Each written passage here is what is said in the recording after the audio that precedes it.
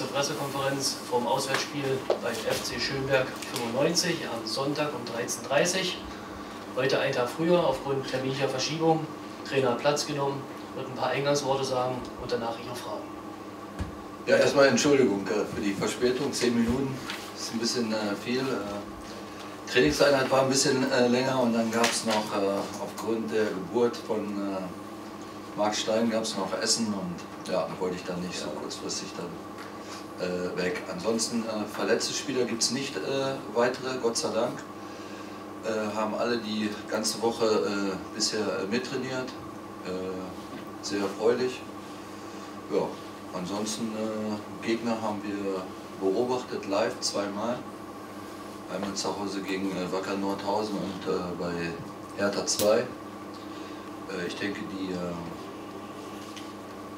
äh, Ergebnisse speziell zu Hause sind äh, Warnung genug und braucht keiner dann meinen, dass das ein Selbstläufer wird oder dass ja, irgendwie man einfach irgendwo drei Punkte holen kann.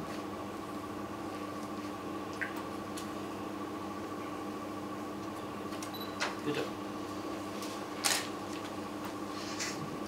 Was erwarten Sie für einen Gegner, um da gleich mal einzuschließen, am Sonntag in Schönberg? Heimstark, laufstark, zweikampfstark, diszipliniert. Ich meine, gegen zwei sind es die Favoriten, auf jeden Fall Mitfavoriten. Äh, BRK 3-0 und äh, Wacker Nordhausen 3-1 und dann 6 zu 1 Tore. Äh, das spricht dann auch für sich und äh, zeigt ja ganz klar, wo, äh, wo ihre Stärken sind, dass sie äh, heimstark sind. Äh, bei Hertha haben sie nicht so gut gespielt, aber zu Hause, wie gesagt, die haben im ersten Spiel, ist gut, dann weiß man nie so genau, wo wir stehen, das haben wir von uns auch gesagt, aber jetzt obwohl kurz nach der Halbzeit das 1-1 äh, gefallen ist, äh, haben sie sich da nicht äh, beeindrucken lassen. Und, äh, das 2-1 ist zwar ein bisschen glücklich gefallen in der Entstehung, aber das gehört ja auch dazu. Und dann mit dem Konter zum 3-1 unterm Strich, äh, das, wie ich das äh, sehe und analysiere, verdient gewonnen.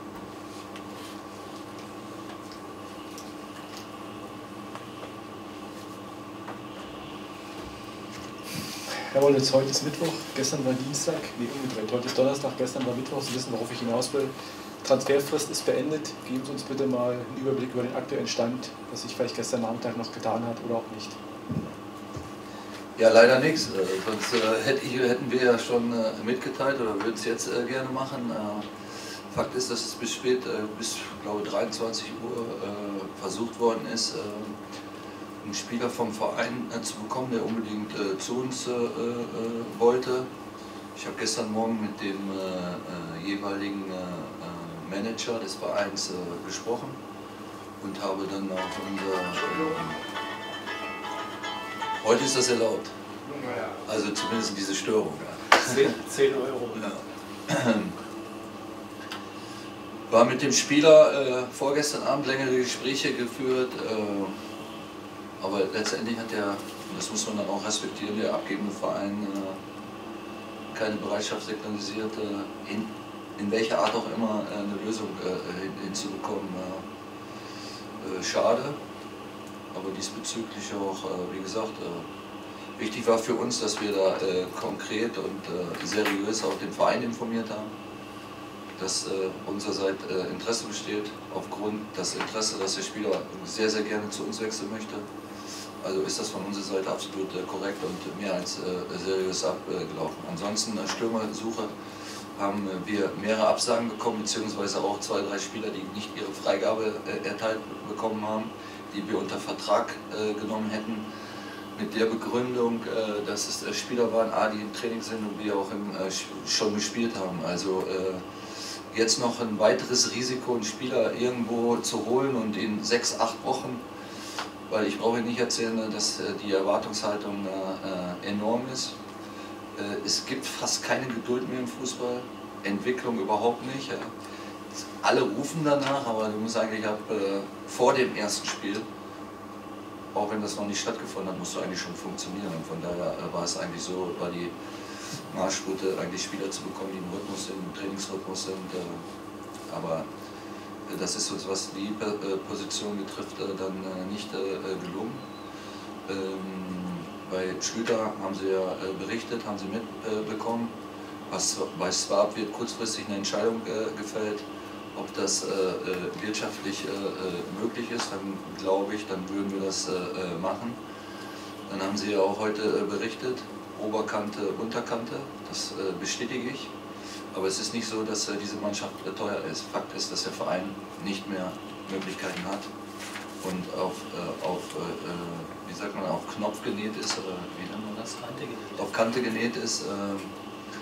Und äh, deswegen auch, äh, wir haben auch Absagen bekommen, dass nicht äh, jeder Spieler damit vereinbart, sich vereinbaren konnte, nur auf Platz 1. Weil sie sagen, mit einer neuen Mannschaft ist das Risiko enorm. Ja. Die Grundgehälter sind mehr bescheiden und deswegen, also wie gesagt, wir sind dankbar, dass wir so eine Mannschaft zusammengestellt bekommen haben. Ich hoffe, dass der Sieg letzte Woche uns ein Stück mehr Ruhe, ein Stück mehr Selbstvertrauen und ein bisschen mehr äh, auch Freude äh, äh, bringt, um die nächsten Aufgaben positiv anzugehen.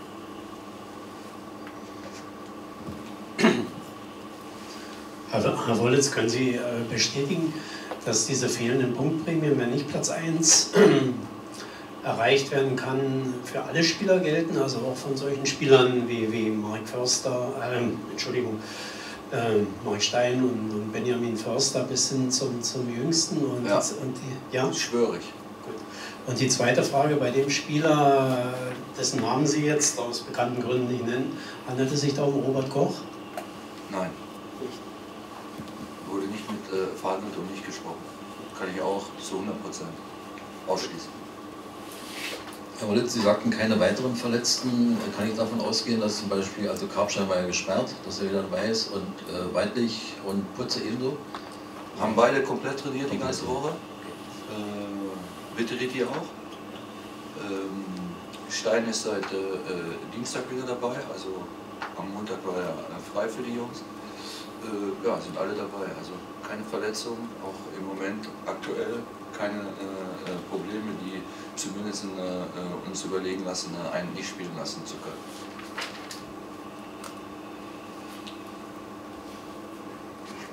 Ich möchte nochmal zurückkommen auf die Transfergeschichten. Wenn man so mal im Netz die Reaktionen der Fans sich anschaut, dann taucht immer so wieder eine Frage auf. Ähm, da wird gesagt, die Mannschaft, sag ich mal, die ist preiswert, die ist jung und trotzdem ist das Budget ausgereizt. Ähm, wie, wie ist das möglich? Also ähm, ich gehe mal davon aus, Energie Cottbus hat für Regionalliga-Verhältnisse einen ordentlichen Etat. Das hat der Verein auch so äh, zumindest nicht dementiert, sage ich mal. Ähm, aber Sie haben immer wieder betont, die Mannschaft ist sehr preiswert und wie gesagt, da sind auch viele junge Spieler dabei. Und äh, so der Fan fragt sich trotzdem, das Budget ist trotzdem ausgereizt. Äh, ich, ich weiß nicht, äh, äh, welches Budget der Verein nach außen transportiert hat welche Summe die für die Lizenzmannschaft zur Verfügung stellen. Ich, ich, ich, muss sie nicht nennen. Entweder man glaubt mir oder man glaubt mir nicht. Wenn ich sage, dass äh, kein Spieler äh, ab Platz 1 eine Prämie bekommt, dann können Sie sich hundertprozentig äh, darauf verlassen. Weil dieses äh, Risiko äh, einzugehen, äh, dass zwei, drei Spieler das zu, zugestehen, das, das wollten wir nicht. Ich sowieso nicht. genauso wie mit dem Berater. Da sind keine Kompromisse gemacht worden, um da auch eine Einheitslinie zu fahren. Und den Rest äh, muss dann die äh, Führung äh, äh beantworten. Ich kann Ihnen nur sagen, dass ich absolut in dem Rahmen, der zur Verfügung gestellt worden ist, arbeite. nicht einmal die Anfrage hatte, ob wir das überschreiten können, weil das wollte ich nicht. Ähm, und wenn dann anonym dann irgendwo immer erzählt wird, damit äh, beschäftige ich mich nicht. Ich beschäftige mich mit den Sachen, ne, die, äh, oder mit den Fakten, ne, die dann äh, auf der Hand liegen, oder beziehungsweise den Tatsachen. Fakt ist, dass äh, Energie Cottbus nicht mehr auf Rosen gebettet ist, dass Energie Cottbus aufpassen muss, äh, um ein Konkurrent der nächsten Jahre zu bleiben. Und deswegen, und das wollte ich dann äh, mit der mit der Aktion, mit den Prämien, das ist ja von mir gekommen, mit den Beratern, das ist von mir gekommen um dem Verein eigentlich eine, eine Gewährleistung zu geben, äh, auch sich mal vielleicht systematisch, wie das eigentlich sich gehört im Fußball, äh, zu entwickeln und neu äh, zu, zu formieren und neu au aufzubauen. Und äh, Und es war auch der Schrei äh, nach diesen jungen Spielern. Und wenn da mal ein junger Spieler wie äh, Malte Karpstein vielleicht mal nicht so einen guten Tag hat, dann wird dann wieder gesagt, was wollen wir mit den jungen Spielern? Also was, was, was, was wollen wir eigentlich? Also wollen wir eine Mannschaft entwickeln und ich glaube, dass die Mannschaft Entwicklungspotenzial hat, dass sie schon auch äh, Reaktion zeigen kann. Siehe das Ergebnis letzte Woche. Ich glaube, sie hat fast nach zwei Jahren ist das die erste Mannschaft, die einen Rückstand in einen Sieg umgewandelt hat. Also es gibt ja auch viele positive Aspekte, aber es, ist einfach schade, dass wir uns halt oder es versucht wird weiterhin negativ, negativ äh, das äh, äh, zu begleiten.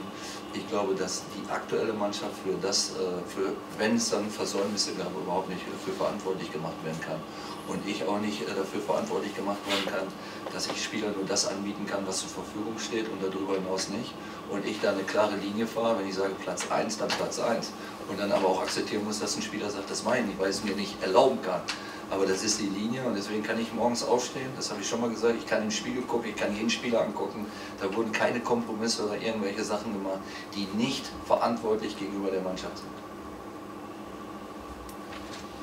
Äh, Herr Wollitz, nach dem Auswärtssieg beim BFC, Sie sagten es, äh, eben hat die Mannschaft so einen Schub bekommen, also ein bisschen breite Brust. Äh, die genannten Spieler sind wieder da, die ich vorhin genannt habe, die drei. Wird es äh, Umstellungen geben in der Mannschaft oder sagen Sie, never change a winning team? Ja, also ich glaube schon, ne, dass äh, das eine oder andere verändert werden kann. Ob man das dann muss, das ist immer auch dann immer so äh, eine Frage. Ganz oft ist es auch so, erinnern wir uns an das Spiel Red Bull Leipzig, sehr gut.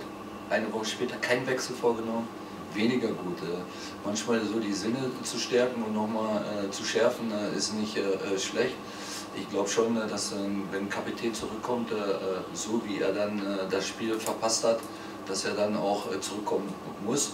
Äh, Karpstein hat das bis dahin äh, äh, sehr, sehr gut gemacht. In welcher Mischung wir das dann aufbauen und wie wir dann starten, das weiß ich wirklich nicht.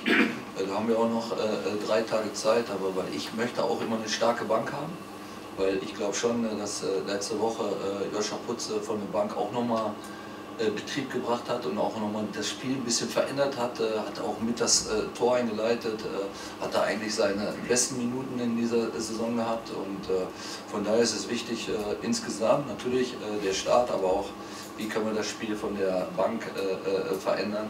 Ich glaube, dass das auch sehr, sehr wichtig ist. Insgesamt war das schon immer für mich eigentlich so ein Standpunkt, den ich vertreten habe, aber jetzt ist er umso wichtiger in dieser Liga, dass man äh, äh Möglichkeiten hat, ab der 60., 65. Minute wirklich ein extremer Spiel zu bleiben.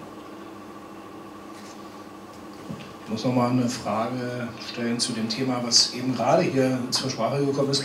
Durch diese Absage heute Nacht oder wann auch immer dieses Wunschspielers, ist denn damit jetzt ein finanzieller Spielraum entstanden? Denn den hätte man ja auch in irgendeiner Form ja. bezahlen müssen. Ja. Kann dieses, da noch was passieren? Dieses Geld wäre für einen weiteren Spieler äh, würde das zur Verfügung stehen. Ja. Und man arbeitet sicherlich dran, um zum Beispiel so vertragslose Spieler denen auch noch ein bisschen hinterher zu jagen, in Anführungsstrichen? Ähm, ist eine Möglichkeit. Ähm, es gibt auch gewisse Spieler, die äh, nach wie vor äh, äh, so in der Warteschleife sind, warten auf das etwas Größere. Ich finde schon, dass äh, Energie Cottbus äh, nach wie vor ein großer Club ist für Regionalliga, äh, Dritte Liga. Ähm, aber wie gesagt, das, das, das Thema ist, äh, wenn Sie einmal anfangen, mit einem Spieler einen Kompromiss zu machen in Verhandlungen und diese Schiene und diese Linie verlieren, es wird rauskommen, weil, weil fast alles rauskommt. Und das Risiko äh, äh, äh gehe ich nicht. Das darf ich auch nicht gehen, weil das finde ich, äh, gegenüber meinem Arbeitgeber würde ich da einen falschen Weg einschlagen und speziell gegenüber äh, Mannschaften, wo gerade wenn du dich neu kennenlernst, extrem es wichtig ist, ein Vertrauen aufzubauen. Dazu, dieses Vertrauen gehört für mich auch dazu. Und dann gilt es halt einfach dann diesen Spieler davon zu überzeugen, gerade in so einer Situation so sowas mitzubegleiten. Das finde ich richtig interessant. Äh, müssen wir gucken. Also es gibt da wirklich interessante Spieler, die auch nicht äh, äh irgendwo mittrainiert haben. Da müssen wir natürlich gucken, wo ist der äh, äh Fitnesszustand, das haben wir eben auch gesagt.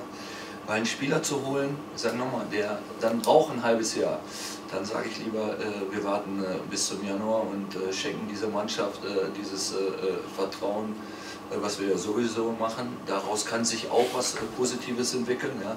Viele Spieler werden jetzt die Möglichkeit haben, viele, viele Spiele zu machen, ja, sich präsentieren zu können, ja, sich richtig Selbstvertrauen zu holen. Sie haben vielleicht dann nicht sag ich mal, diesen Konkurrenten noch äh, im, äh, im, im äh, Rücken, äh, der vielleicht, äh, den, oder nicht der vielleicht, sondern den man sich vielleicht hätte äh, gewünscht. Ne? Nur nach, nach Wünschen geht das schon lange nicht mehr im Fußball. Es geht ja darum, kann ich die bezahlen? Ist, kann ich das verantworten? Und ist das auch nachvollziehbar für die jetzige finanzielle Situation des Clubs Energie Cottbus? Herr Wallace, gestern hat der Club den vorläufig letzten Neuzugang verkündet. Ist er, wird er A im Kader sein oder B vielleicht sogar eine Startformation? Äh, Kader bin ich mir sicher. Äh, Startformation bin ich mir nicht sicher. Äh, aber er hat das heute Morgen äh, total bestätigt, dass äh, wir glauben, dass er uns helfen kann. Wir glauben, dass das ein Spieler ist, der A, die Liga kennt, B, die Erfahrung hat, er ist technisch gut. ich glaube, dass er jetzt auch will, nicht den anderen irgendwas zu zeigen, das ist auch ein falscher Ratgeber, aber hier nochmal neu anzufangen mit 24 Jahren. 24 Jahren hast du riesen Entwicklungspotenziale noch. Er ist äh, ein sehr gut ausgebildeter Spieler und äh, muss sagen, also für das, wie es dann sich dann letztendlich auch entwickelt hat und entstanden ist, war der Spieler dann auch ausschlaggebend, dass das funktioniert hat, weil da schien es am Dienstagabend eigentlich auch, dass es nicht mehr äh, funktioniert, äh, weil ich hatte dann noch auch spät abends und eigentlich um die 0 Uhr rum äh, mit dem Kollege Gaudino gesprochen und da wollten sie ihn eigentlich erst gar nicht mehr abgeben, aber der Spieler hat dann eigentlich zu seinem Wort gestanden. Und was auch für mich beeindruckend ist, dass er letzte Woche Dienstag, Mittwoch, Donnerstag hier war, Donnerstagabend nach Hause gefahren ist und ich dann gesagt habe, dass ich mich natürlich jetzt nur mit unserem Spiel BFC beschäftige, ich dann meine Eindrücke am Wochenende natürlich dann auch äh, äh, mir dann durch den Kopf gehen lasse, im Team besprechen werde, dass er am Samstag mit seiner Freundin äh, hier hingefahren ist und hat sich alles angeguckt, obwohl er gar nicht wusste, ob die Entscheidung äh, für ihn äh, fällt. Äh, sowas, das ist das, was das wir brauchen, dass da Interesse besteht. Ja. Was auch gut ist, halt, dass andere Spieler, unter anderem Benjamin Förster hat ja mit ihm zusammengespielt, Alex Meyer in Hamburg, die sehr, sehr positiv über insgesamt über Cottbus sprechen. Das sind halt eigentlich im Moment diese Parameter, diese Werbeträger nenne ich das in der Mannschaft, ja, um vielleicht den ein oder anderen Spielern kurzfristig spätestens dann im Winter für uns zu gewinnen dass äh, die Stadt äh, äh, liebenswert ist, dass die Stadt vor allen Dingen sauber ist, ja, dass du hier fantastisch leben kannst. Ja. Und das Allerwichtigste für den Fußball muss ja sein, welche Bedingungen kann der Club stellen. Also die Trainingsbedingungen, nach wie vor werden sie keinen finden, der sagt, die sind nicht gut. Mit dem Geld, da muss ich ganz ehrlich sagen, können wir nicht, können wir nicht mithalten. Ja. Können wir nicht mithalten. Ich, ich, ich, wundere mich, warum das nicht irgendwann dann auch mal so äh, verstanden wird und akzeptiert. Hier ist keine Taktiererei definitiv nicht ehrlicher als das, äh, äh, wie ich das hier vortrage, gibt es nicht. Ja. Und das ist zu 100% so, wie ich es dann äh, hier vorstelle, ist es auch. Vielleicht gleich, gleich ergänzend dann, Entschuldigung, ergänzend an Ihre letzten Sätze, fühlen Sie sich da auch ein wenig von der Vereinsführung bzw. Aufsichtsrat und so allein gelassen, dass man das auch äh, mehr kommunizieren müsste, dass Energie eben nicht mehr Energie der Jahrgänge äh, bis 12 oder, oder 13 ist, sondern dass es jetzt einer von mehreren Regionalligisten ist und das nicht, im, Moment nicht mehr geht. Nee, also ich, äh, äh, ich wusste auf was wir uns, was ich äh, mich einlasse. Ich weiß, dass mit ein bisschen Geschick, mit ein bisschen äh, Vertrauen, mit ein bisschen dieses ein bisschen Fußballglück, auch mit der äh, Mannschaft äh, äh einiges äh, möglich ist. Äh, was ich, also ich habe da auch mittlerweile diese Gelassenheit, deswegen reagiere ich auch so, wie ich reagiere, relativ ruhig. früher wäre ich sehr emotional aus der Haut gegangen. ich kann diese wirtschaftliche Situation definitiv im Moment sowieso ich nicht, aber nicht verändern. Ich kann aber begleitend den Verein unterstützen helfen, dass ich keine Forderungen stelle, die nicht machbar sind. Der Verein hat zweimal versucht, einen Aufstieg zu schaffen und ist zweimal bitterböse hinten runtergefallen, sogar mit dem Abstieg. Und jetzt sollte man endlich, finde ich, den Weg gehen und sagen, okay, nicht nur Bescheidenheit, nicht nur Demut, sondern das, was möglich ist, machen wir. Wenn wir es schaffen, als Mannschaft so aufzutreten wie letzte Woche, wir haben eine, also zu Hause sowieso, aber auswärts so eine Unterstützung, also wir haben immer Unterstützung, das nicht falsch verstehen, aber die war bombastisch, die war faszinierend, die war, die war herzerfrischend, das war, äh, also äh, ich hatte äh, Gänsehaut, ich hatte Schüttelfrost, ich hatte unglaublich Dankbarkeit, ich konnte das dann auch nach dem Spiel gar nicht so schnell in äh, Worte fassen, wie die Fans unterstützt haben und wir müssen diesen, dieses zurückgeben, dann können die Fans äh, äh, die neuen Sponsoren von Energie Cottbus werden. Weil wenn wir das schaffen, mehrere Zuschauer ins Stadion zu bekommen als kalkuliert, können wir uns daraus auch das ein oder andere äh, äh, finanzieren. Und deswegen ist meine Botschaft eigentlich an die Mannschaft, alles was drin ist, ja, zu geben, ja, in jedem Spiel das Maximale, äh, zumindest was Auftreten betrifft, ja, was die, äh, auch die sozialen Komponente äh, betrifft, die, den Willen zu haben, alles für dieses Spiel äh, zu tun, immer nur für dieses eine Spiel, wo jeder dann erkennt und sagt, aber eins tun die ja, die marschieren, die malochen, ja, die geben nicht auf, ja, die können Umst äh, äh Rückstände äh, äh, korrigieren, die können Rückstände aufholen, dann glaube ich, dass man dann darüber hinaus, und dann glaube ich, kann sich das hier positiv neu entwickeln, weil der Anfang ist ja in der nach dem bitteren Abstieg gemacht worden mit der Wir-Aktion, mit den äh, mehreren Mitgliedern, mit den Spendenaktionen. Äh, äh, da muss man, kann man gar nicht dankbar genug für sein, nur es wird ein harter, steiniger und ein extrem komplizierter äh, Weg, um Energie Cottbus wieder dahin zu bringen, wo der Verein eigentlich dann mit den Möglichkeiten hingehört. Also Möglichkeiten mache ich mit den Bedingungen, aber finanziell ist er da nicht mehr im Moment äh, auf den Weg, äh, dass er auf Rosen gebettet ist. Der nächste Gegner ist relativ weit weg von Cottbus, also eine sehr lange Anreise steht bevor. Hat das auch damit zu tun, der heutige etwas ungewöhnliche Termin, drei Tage vor dem Spiel, dass wir uns hier treffen? Geht ihr morgen schon auf Reisen oder ist alles so, dass man sagt, Sonntag fahren, Sonntag spielen? Nein, wir gehen äh, Samstag das haben wir gesagt, alles was über 300 Kilometer geht, äh, das macht jeder Verein äh, einen Tag vorher. Äh, dieser Terminwunsch ist von der Geschäftsstelle an mir herangetreten. Ich, Schafe hat mich diese Woche gefragt, Freitag, äh, Entschuldigung, Donnerstag 12 Uhr oder 12.30 Uhr, habe ich gesagt, wir spielen noch Sonntag. Also die Bitte kam von der Geschäftsstelle, diesen Termin einen Tag vorzulegen. Ansonsten wollen wir schon zwei Tage vor dem Spiel Pressekonferenz arbeiten. Habe ich das das ist völlig korrekt, aber die genauen Gründe sind vereinsintern, möchten wir nicht nach außen kommunizieren. Oh. Ist aber nichts Schlimmes, aber äh, das ist. Das hat nichts mit mir zu tun. Also. Genau. Ich möchte wahrscheinlich zum letzten Mal nochmal auf das Thema äh, Transfers und Mannschaft zu sprechen kommen. Vielleicht können Sie mal vielleicht so die, die einzelnen Mannschaftsteile nochmal kurz durchgehen. Ähm, wie, wie, sehen Sie Ihre Mannschaft da jetzt aufgestellt für die kommenden Wochen und Monate? Da kann ich insgesamt sagen, mehr als ordentlich. Also für das, äh, dass es komplett neu ist, dass äh, wie dann äh, erste Training begonnen ist, dass, wir, ja, dass wir mit wenigen Leuten und dass wir dann nach und nach, und nach dann Spieler bekommen haben, die diesen Weg Gott sei Dank mitgehen äh, wir haben äh, letzte Woche gezeigt, dass wir Tore herausspielen können. Wir haben gezeigt, dass wir über Standardsituationen äh, was machen können. Wir haben gezeigt, dass wir auch, wenn der ein oder andere sagt, dann, ähm, das war eine B-Mannschaft, also eine B-Mannschaft hat Cottbus aktuell nicht.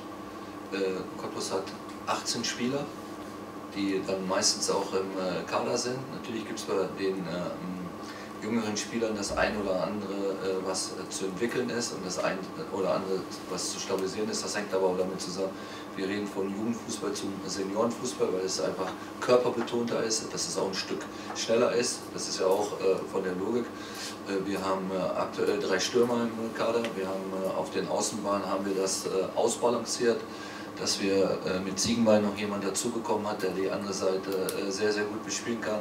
Weidlich ist ja äh, äh schon vom ersten Spieltag an äh, dabei. Wir haben gesehen, dass äh, wir in einer 1 gegen 1 Situation Tore vorbereiten können. Wir haben gesehen, dass wir das System innerhalb von zwei Tagen verändern können. Wir sind mit 4-2-3-1 angefangen. Wir haben letzte Woche 4-3-3 gespielt.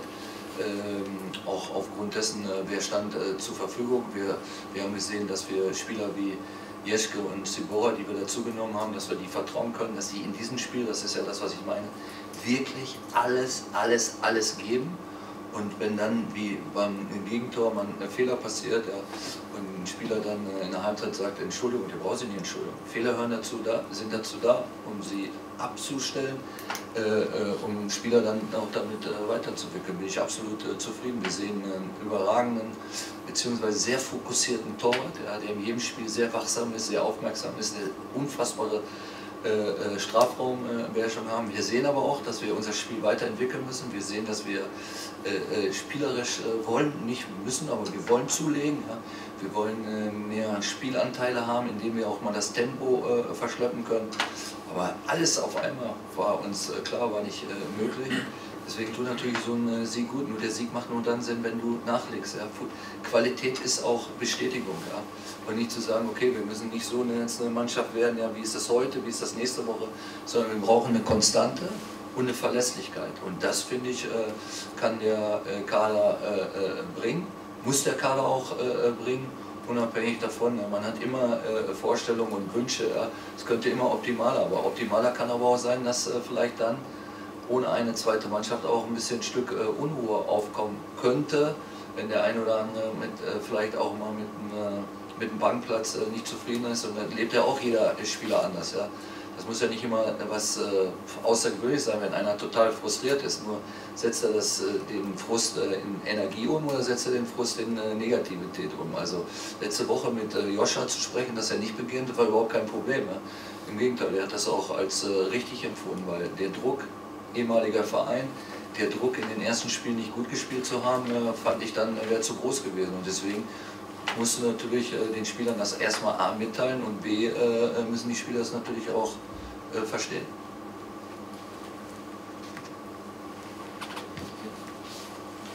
Haben Sie eigentlich noch Kontakt mit Patrick Breitkreuz? Ich habe Patrick äh, vor drei Wochen äh, beim Spiel äh, BFC Dynamo gegen BHK äh, getroffen. Das war der Kontakt, danach nicht. Ähm, er macht ja seine Reha bei, äh, in Berlin auf jeden Fall. Ich, ich weiß jetzt gar nicht, ob er sie über Hertha macht. Äh, wir haben ja damals äh, was gesagt. das habe ich ja den Spieler dann mitgeteilt. Da gab es ja auch mal eine Irritation, dass der Berater gesagt hat, es lag nichts vor. Dann habe ich mit dem Berater das aber besprochen, dass ich den Spieler gesagt habe, wenn das Interesse seiner Seite oder des Beraters sind wir sofort bereit, da was zu machen. Aktuell gibt es da keinen Stand oder keine Vorstellung, auch das zu machen ich glaube, dann wäre auch äh, von dem Spieler schon äh, der Wunsch an uns herangetreten. Genau, er hat das ja gleich im Frühsommer. Dutschew hat sich ja für einen anderen entschieden. Zerschlagen, auch jetzt durch die Verletzung natürlich. Ich wusste, dass äh, wenn er sich nicht verletzt hätte, dass äh, beim Abstieg von ähm, Cottbus er auf die Liste von Aue ist. Wenn Cottbus drin geblieben wäre und Breitkreuz sich nicht verletzt hätte, was ich uns, beides hätte ich uns äh, gewünscht, mhm. erstmal für den Spieler, B für unseren äh, Verein, äh, dann äh, wäre es schwierig geworden. Äh, ich wäre nicht sicher gewesen, ob sie bereit gewesen wären, eine Ablösesumme zu bezahlen. Aber das ist ja so Makulatur. Ich, also die Information hatte ich auch, mhm. damals aber schon.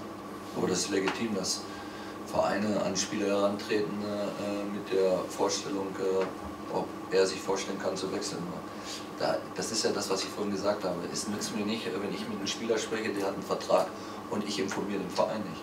Ich habe den abgebenden Verein sofort informiert. Ja. Im Rahmen meiner Tätigkeit als äh, dann sportlicher Leiter oder Verantwortlicher. Ich habe dann nicht als Trainer angerufen, habe das dann auch gleich gesagt, nein, ich wollte mich nicht bewerben. Also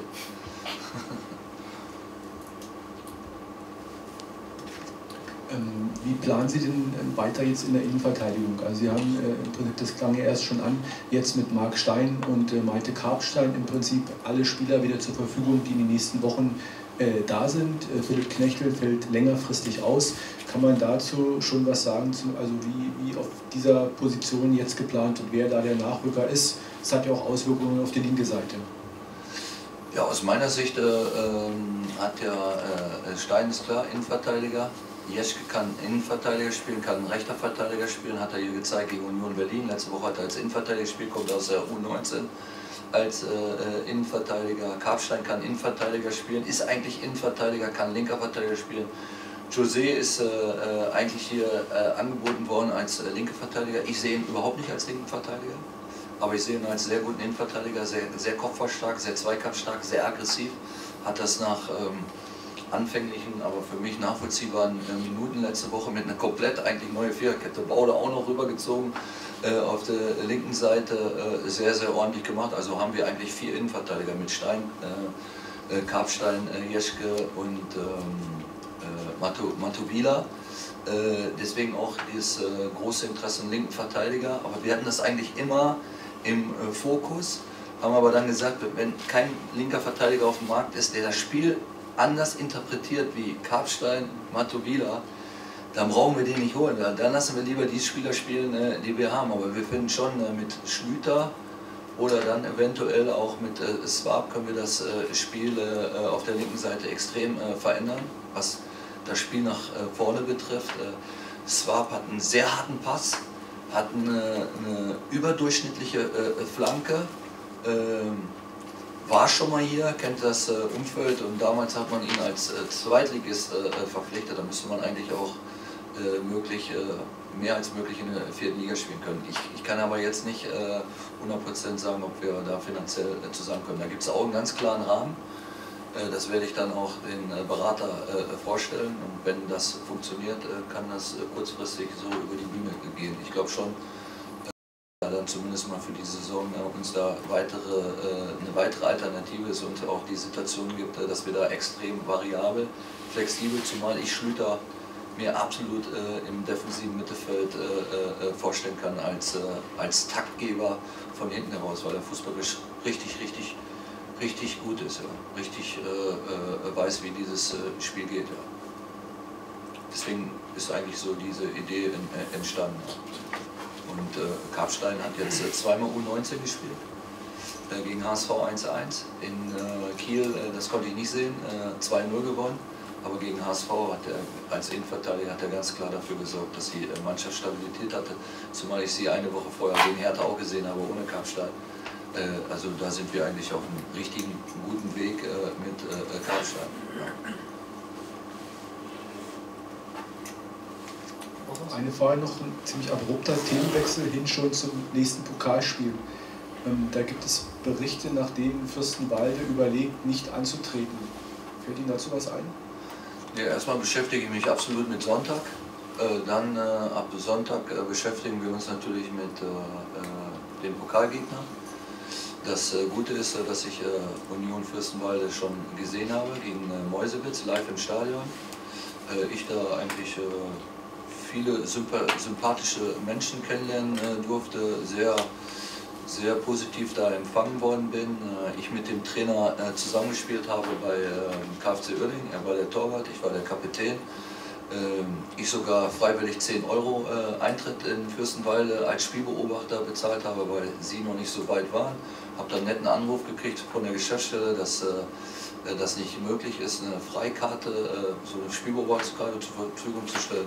Alles andere, muss ich ehrlich sagen, das ist nicht das, das, also das kommentiere ich definitiv nicht. Also ich habe ja schon öfters das eine oder andere gerne auch mal kommentiert äh, und meine oder unsere Sichtweise, aber da fühle ich mich jetzt nicht für verantwortlich, hier die Sichtweisen da, darzustellen, wie es dann eigentlich äh, wirklich ist. Ich kann nur so viel sagen, da wird sehr, sehr viel verdreht und wird wieder mal auf Namen von Energie Cottbus äh, der schwarze Peter nach Cottbus äh, geschoben, der absolut hier nicht zu liegen ist äh, oder liegen hat.